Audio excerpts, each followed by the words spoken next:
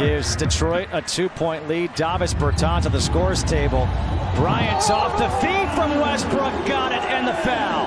And look at Westbrook talk to him. Different field. Finds his teammate Bryant. An and one opportunity coming up when we come back.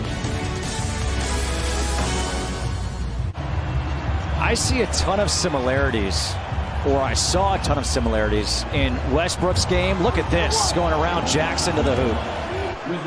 Speaking of slashing, I mean, it was plays like this now as a veteran and being in this point of his career, still being able to leap